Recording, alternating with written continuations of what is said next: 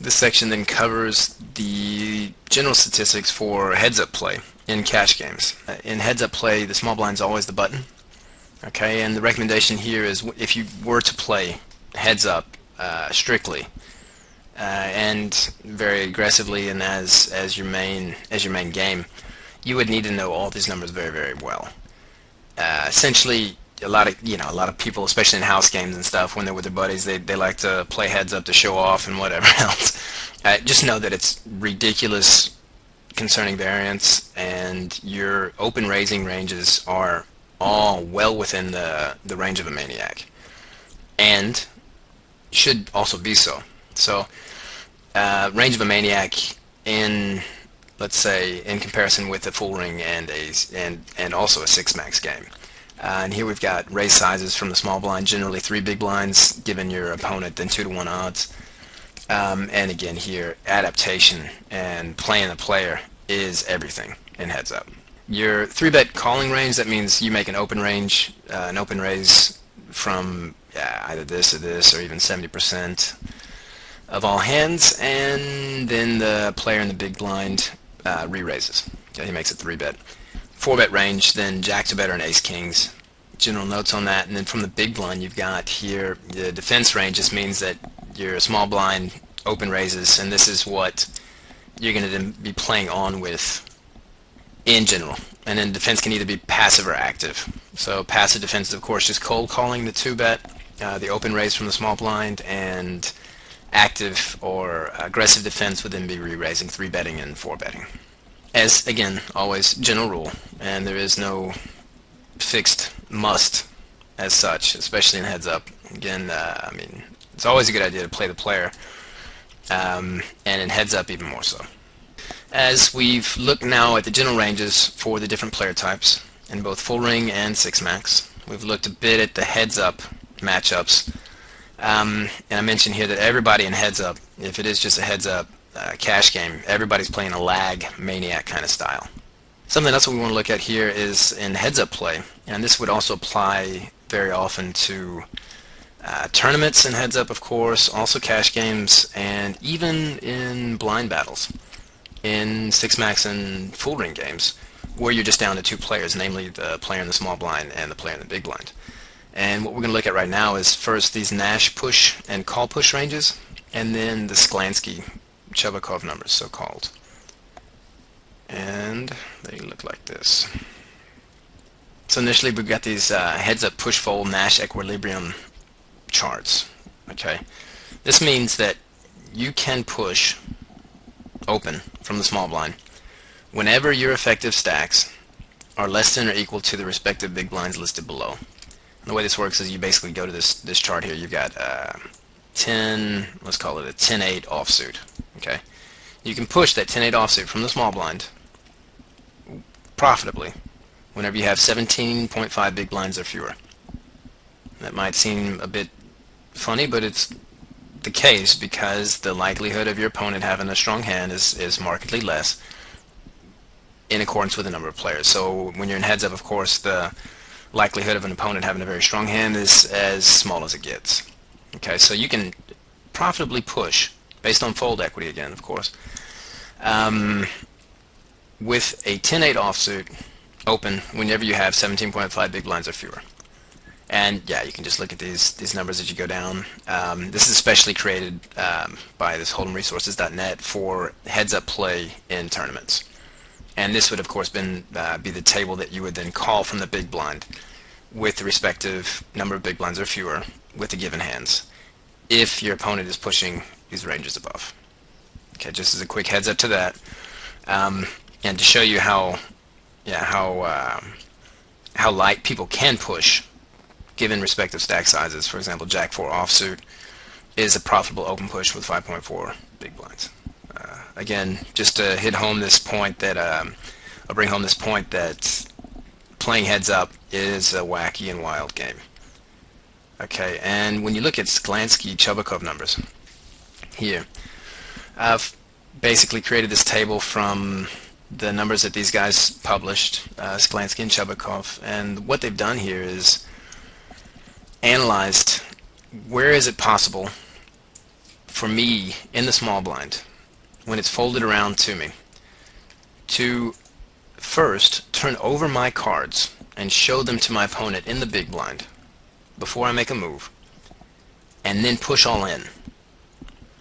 And at what range, based on certain stack sizes, is that profitable even when the opponent only calls when he has an equity advantage? I hope that was clear. This means that these guys just sat down and said, okay, what is the maximum stack size I can have with respect to big blinds in order to be able to profitably push with any given hand even when my opponent knows what I hold and plays mathematically perfectly.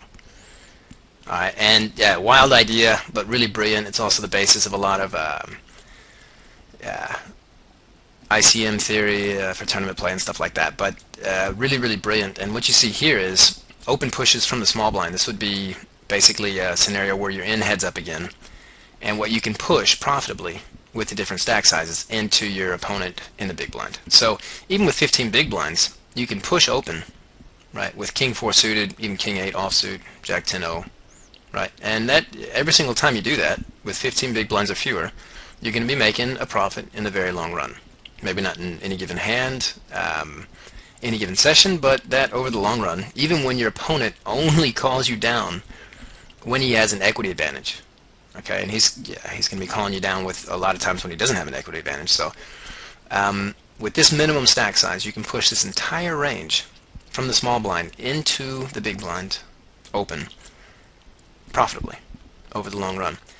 And you see here, even with 35 big blinds in your stack, you can open push with 4s, ace-5 suited, ace-8, and king-jack suited or better at 95 big blinds. Okay, that's basically when you're playing a, a big stack strategy in heads up you can even push open with nines or better or ace queen or better in, in heads up play. And this is uh, a breakdown for um, anytime you're you're making steal raises. And it's very very clever. Um, it's very very good for you guys to know too when you're when you're looking at player profiling and ranges and stuff like this.